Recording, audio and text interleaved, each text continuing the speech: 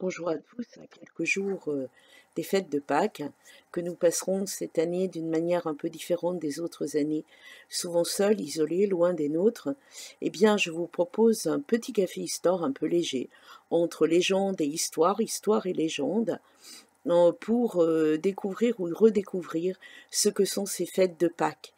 Euh, Pâques a longtemps été la fête principale euh, des euh, chrétiens, des catholiques en particulier, et elle a longtemps d'ailleurs été le premier jour de l'année, c'était le jour de la résurrection, premier jour de l'année et premier jour évidemment d'un monde qui renaissait. Euh, la résurrection euh, du Christ, c'est évidemment aussi la résurrection du printemps, euh, celle de la nature qui s'éveille. Alors, pourquoi l'agneau pascal? Pourquoi les cloches? Pourquoi les œufs? Pourquoi ces dates de Pâques? Et quel est le nom de Pâques? Eh bien, je vous invite à découvrir tout cela. La première chose, c'est peut-être le nom. Le nom de Pâques renvoie au mot d'origine qui est qui a donné Pessa et qui signifie le passage.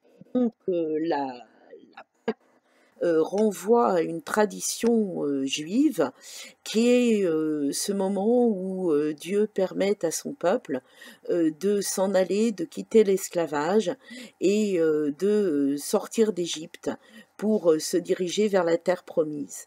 Dieu aide son peuple à partir il l'aide aussi à passer à pied sec la mer Rouge.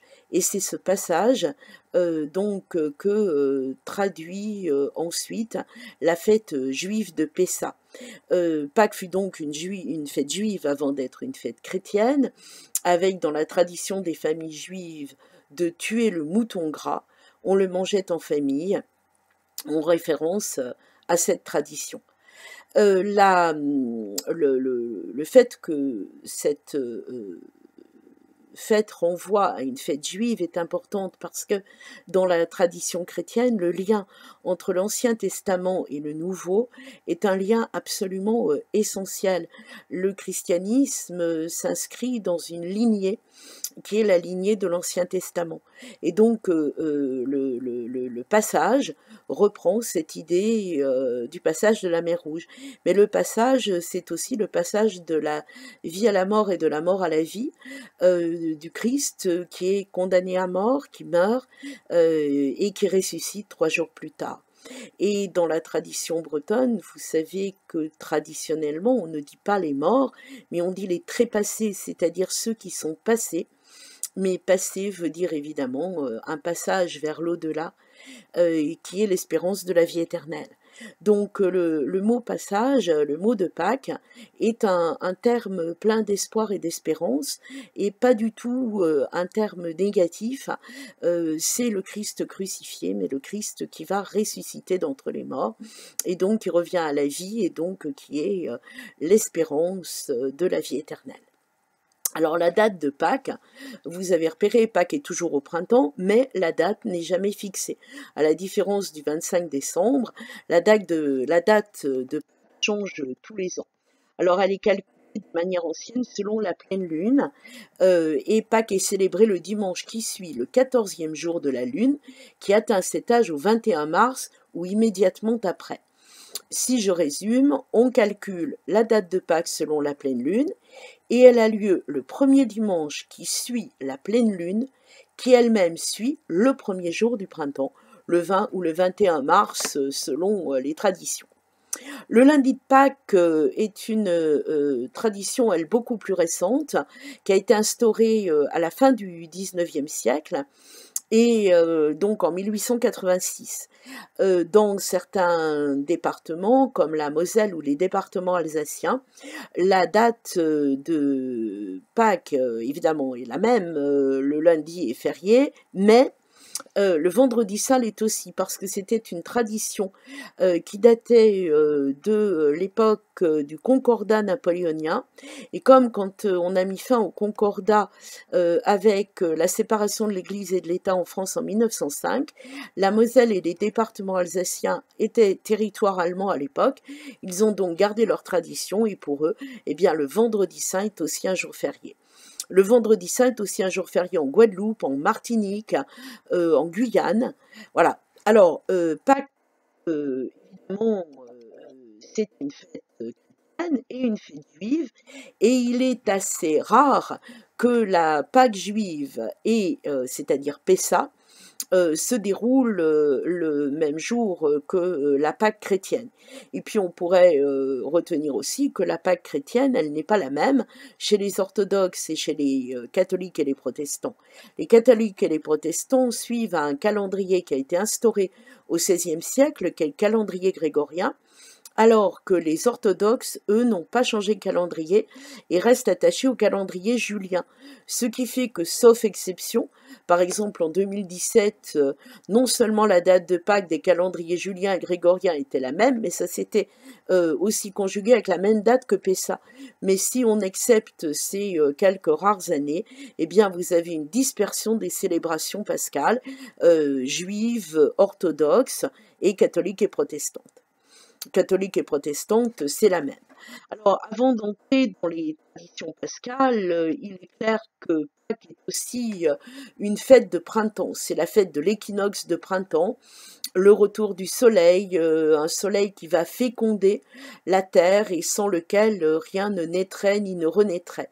L'hiver meurt, dans les pays où il y a de la neige, la neige fond, les rivières sont en crue, la nature euh, petit à petit retrouve sa verdure avec une couleur verte absolument extraordinaire, les plantes sont en bouton, les arbres en bourgeons, et le soleil réchauffe la terre et lui apporte la vie.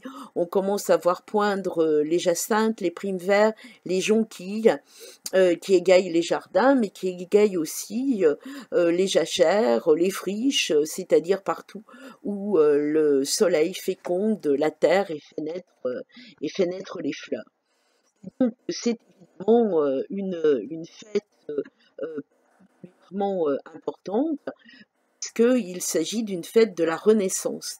Et cette fête de la Renaissance est une, fête qui rappelle évidemment la résurrection du Christ. Donc ce n'est pas très étonnant qu'il y ait une concordance dans le temps entre d'un côté la résurrection du Christ euh, l'espérance euh, du renouveau et de la vie éternelle euh, et le printemps.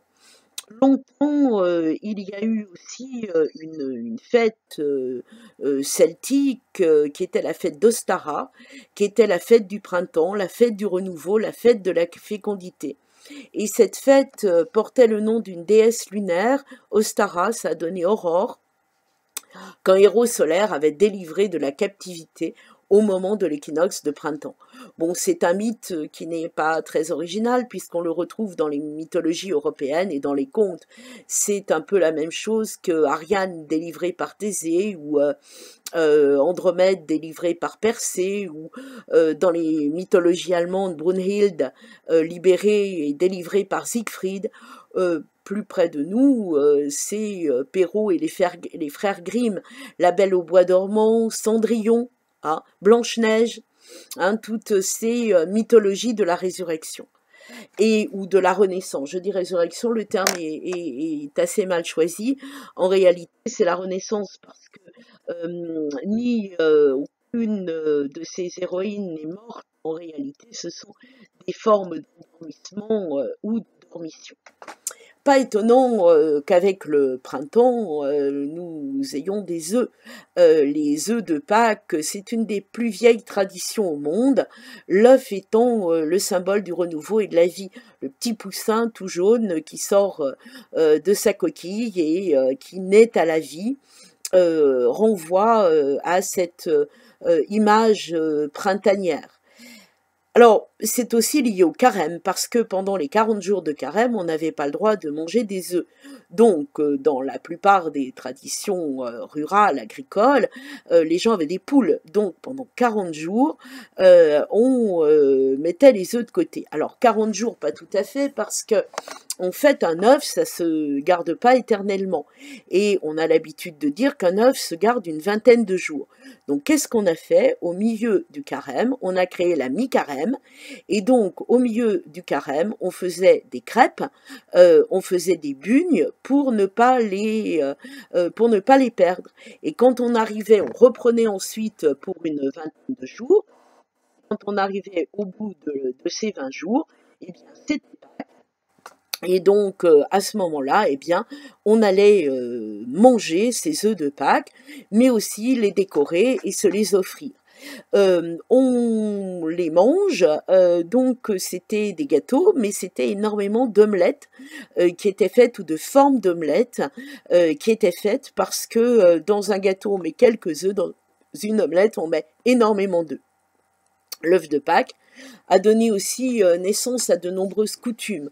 À partir du 5e siècle, dans les églises orthodoxes russes, grecques, roumaines, on distribue des œufs teints lors de la célébration pascale et dans le reste de l'Europe, on a commencé à se distribuer des œufs colorés à partir des 13e, 12e, 13e siècles. Euh, à la cour euh, d'Angleterre et à la cour de France, le roi offrait des œufs décorés euh, aux courtisans. Et ces œufs décorés, c'était pas de la peinture pour beaucoup, c'était la feuille d'or qui était utilisée pour recouvrir ces œufs. Euh, le tsar Alexandre III, euh, en 1884, va vouloir marquer euh, son amour pour son épouse le jour de Pâques en commandant à Pierre-Carl Fabergé un œuf de Pâques, qui est un œuf de Pâques en joaillerie, qui était évidemment un des chefs-d'œuvre de la joaillerie Fabergé et qui est resté.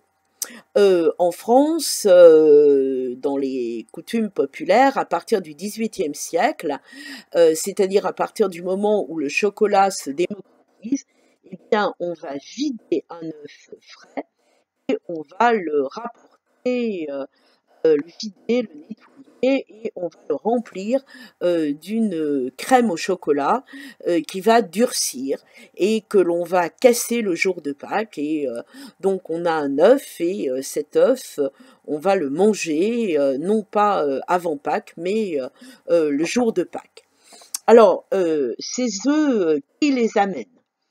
Qui les amènent? Eh bien, ça euh, vraiment euh, des pays. Alors dans les pays catholiques, ce sont les cloches qui ramènent les œufs. Dans les pays germaniques, c'est le lièvre ou le lapin euh, qui, dans la nuit du samedi au dimanche de Pâques, dépose les œufs dans les jardins.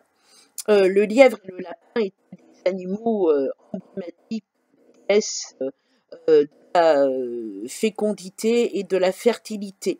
Ost, Ara, en pays germanique, a donné euh, son nom à Easter, euh, c'est-à-dire Pâques en anglais, ou Ostern, Pâques en allemand. Et c'est resté donc associé aux fêtes de Pâques. La question donc de ces œufs, j'y reviendrai, mais peut-être savoir aussi que quand l'on apporte ces œufs, ils sont en général dessinés. Alors, ce qu'on dessine, ce sont des fleurs, des feuilles, des rameaux, des bourgeons, mais aussi des symboles de la résurrection, une croix glorieuse par exemple parfois euh, c'est un petit peu plus délicat. Euh, il y a eu euh, à l'époque de Louis XV une tradition de composition libertine qui était peinte sur les œufs de Pâques et que l'on offrait à son amoureuse, à sa maîtresse, mais aussi à la fille du roi. Euh, c'est dans d'autres cas, euh, les œufs sont rouges. Euh, en Bretagne, longtemps, les œufs n'ont pas été peints, si ce n'est qu'ils étaient recouverts en rouge. Cette tradition des œufs rouges est une, une drôle d'histoire qui renvoie au jour de la résurrection. Et on raconte euh, que le matin de la résurrection, la première euh, à avoir euh, découvert la résurrection du Christ, c'était Marie-Madeleine. Or, Marie-Madeleine était allée au tombeau pour porter des, des œufs, des offrandes, et elle avait mis ses œufs dans son tablier.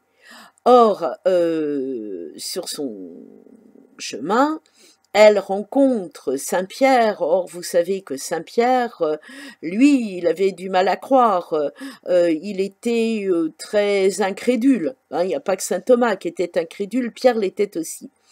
Et Marie-Madeleine le rencontre et lui dit, je vais au tombeau déposer des œufs parce que je sais que le Christ est ressuscité. Et le bon Saint-Pierre, euh, évidemment, euh, lui répond Mais euh, Marie-Madeleine, je ne croirais ça que quand les œufs de poule seront devenus rouges. Et à ce moment-là, Marie-Madeleine ouvre son tablier, et dans son tablier, les œufs étaient devenus rouges. Et là, Saint-Pierre fut forcé de croire à la résurrection. Et voilà pourquoi on a fait des œufs rouges à, au, fait, de.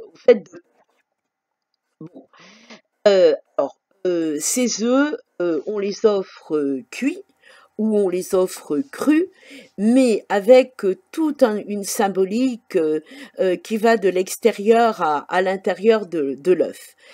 L'œuf extérieur, la coquille, on la décore. On la décore parce que c'est l'apparence du monde, le monde dans lequel nous vivons. Donc un monde qui est fait par l'homme et que l'homme va décrire, peindre, dessiner pour arriver plus loin, il faut briser la coquille, aller au-delà de l'apparence et accepter de briser une coquille euh, qui est une coquille euh, qui a été euh, peinte et décorée. À l'intérieur de l'œuf, on trouve le blanc d'œuf, la couleur blanche, la couleur des origines, la couleur de la pureté, la couleur du commencement, et puis Ensuite, on arrive au jaune. Le jaune, c'est l'essence de l'homme, l'essence de tout, le cœur, euh, j'allais dire primordial, l'âge d'or, l'âge d'or où Dieu décide de créer l'homme à son image. Et donc ce, jaune renvoie euh, aux origines de l'homme, aux temps primordiaux, au moment euh, où euh, du fond de son cœur, Dieu eh bien, euh, va décider de faire l'homme. Donc cela renvoie à toute l'histoire de l'humanité les origines, le commencement, les apparences qu'il faut briser, et puis le monde dans lequel nous nous trouvons, et qu'est-ce qui est ce monde que l'on décrit et que l'homme va organiser d'une belle histoire, n'est-ce pas, euh, que cette euh, symbolique de l'œuf euh, qui va bien au-delà du petit poussin qui, qui apparaît. Voilà, euh, vous voyez, euh, euh, ces œufs durs, on les trouvait partout et en Bretagne. il y a beaucoup, beaucoup de, ces traditions qui renvoient à ces œufs ou colorés ou rouges, dont on va le, le jour, le jour de les les Ukrainiens, plus aussi, je crois, euh, parle du pissenka, c'est-à-dire de l'œuf euh, qui est euh, évidemment les principales décorations. Alors écrit ne veut pas dire écrit avec des lettres, ce sont les décorations. Euh, j'ai oublié tout à l'heure, mais quand je vous disais que euh, y avait euh, des œufs dorés à leur fin, les rois faisaient dorer à leur fin les œufs de leurs courtisans. on mettait ensuite tous ces œufs et on les faisait bénir. L'histoire ne dit pas si on faisait bénir aussi les œufs coquins dont je vous ai parlé tout à l'heure. Or, euh, l'œuf et que c'est une histoire euh, d'œuf, euh, c'est une histoire de poule, mais c'est aussi une histoire de lapin, je vous l'ai dit, une histoire de lièvre. le Moyen Âge fait que le lapin et le lièvre distribuent et et que l'on retrouve ça dans la mythologie germanique on trouve d'autres choses dont euh, les récits euh, du cycle arthurien, euh, la biche blanche, le cerf, le cerf blanc vont distribuer des œufs ou s'approcher des œufs.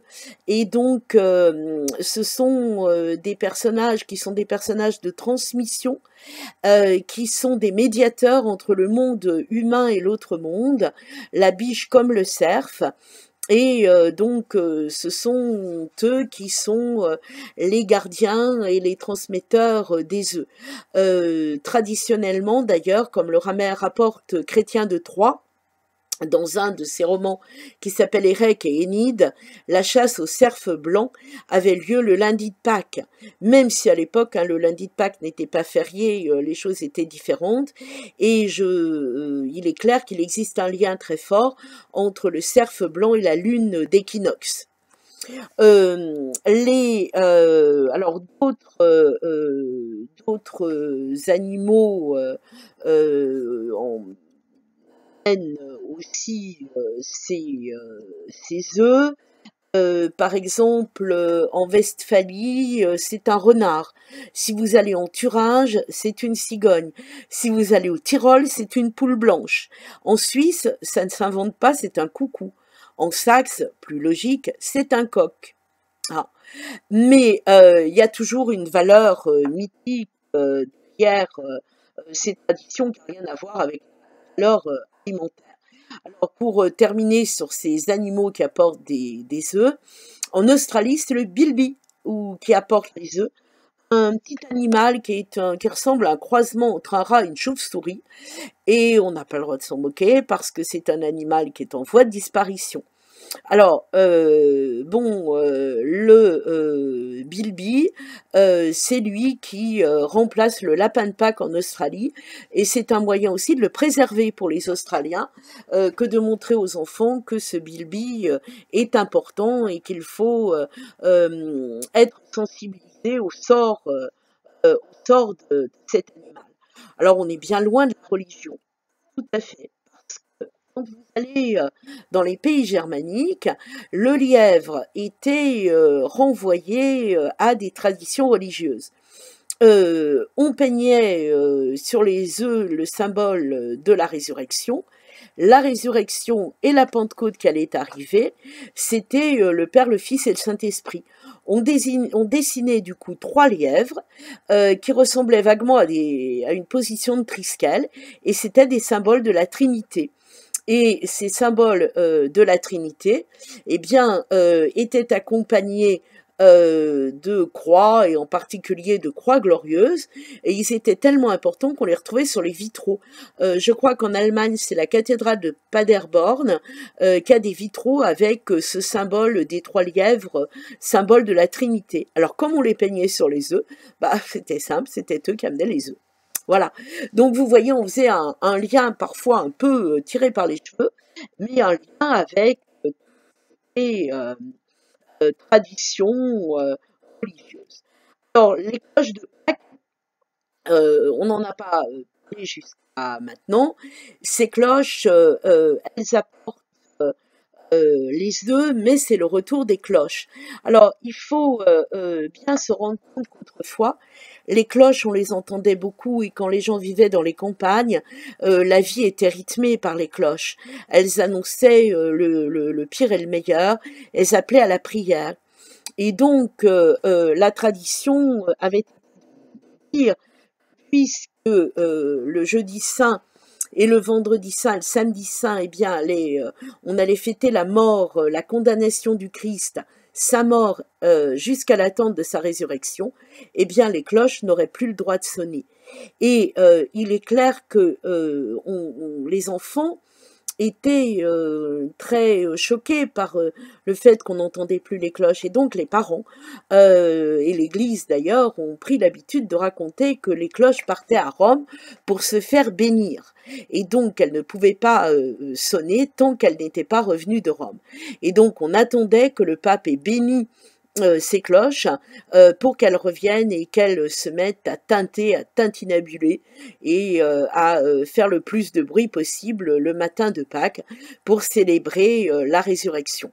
Donc on a pris l'habitude de dire aussi dans certains cas que c'était elle qui ramenait aussi évidemment les, œufs de, les œufs de Pâques. L'agneau pascal, alors euh, peut-être euh, allez-vous manger du gigot d'agneau ou de l'épaule d'agneau, mais enfin en tout cas du gigot. Euh, donc je vous disais tout à l'heure que le mouton était dans les, repas des traditions juives. L'agneau, il est présent sur les tables de, de tradition chrétienne. Il rappelle l'agneau de Dieu qui a donné sa vie pour le salut du monde. L'agneau de Pâques, c'est le Christ euh, sacrifié, le Christ crucifié, mais aussi le symbole du Christ ressuscité. Euh, c'est un, une image très positive, alors que quelquefois les gens ont tendance à croire que mouton, agneau, on voit tout de suite le mouton de Panurge. Pas du tout. L'agneau, il est symbole d'innocence, d'obéissance et de confiance. Il s'inscrit aussi dans la tradition de l'Ancien et du Nouveau Testament. Lorsque euh, Dieu demande à Abraham de sacrifier un de ses fils et qu'Abraham est prêt à se soumettre à la volonté de Dieu, devant son obéissance, Dieu lui accorde de sacrifier un agneau à la place de son fils.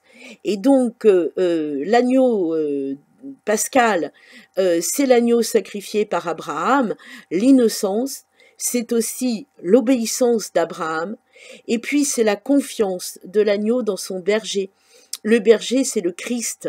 Hein, donc, et euh, l'agneau, c'est euh, celui qui a euh, une confiance illimitée dans le berger, parce que le berger ne peut vouloir que le bien de son agneau, comme le Christ ne peut vouloir que le bien du monde et que le bien de ses disciples. Là, sur cet agneau il y a des choses assez rigolotes. en Alsace, on partage un agneau pascal qui est une brioche, ce qu'on appelle le lamala, euh, qui euh, est mangé le matin du petit déjeuner de Pâques. Au XVIe, euh, on offrait un agneau pascal à sa fiancée en symbole d'amour. Et les enfants recevaient un lamala au retour de la messe de Pâques. en fait, c'était aussi un moyen de se débarrasser des stocks d'œufs. Ah. Le chocolat, lui, c'est beaucoup plus tard, XVIIe siècle, et ce sont là encore les Allemands et les Alsaciens euh, qui euh, ont, euh, en particulier parce qu'ils ont fait progresser la tradition des moules, qui se sont emparés de la tradition chocolatière.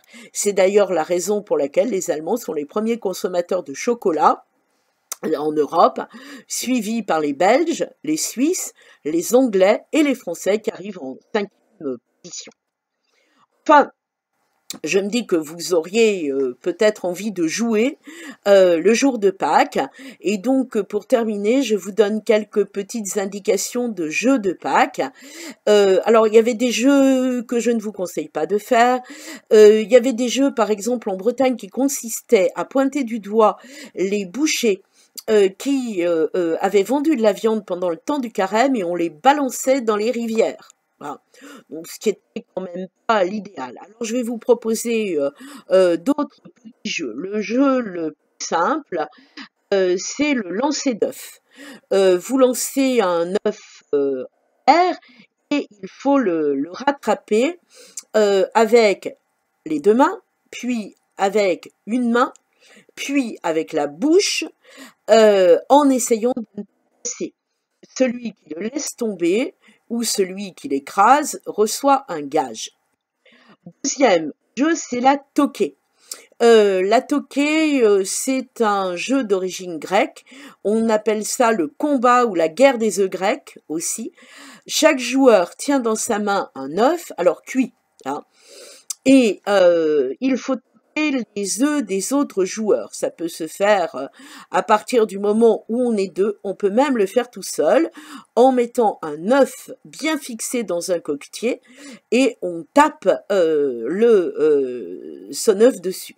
Celui qui a gagné, c'est il y, a deux gagnants. Il y a celui qui a cassé le plus d'œufs qui est le gagnant immédiat. Celui-là, il reçoit euh, en général un cadeau, euh, euh, on peut lui donner un gâteau, on peut lui donner un chocolat. Mais le vrai gagnant, c'est celui qui a gardé son œuf intact.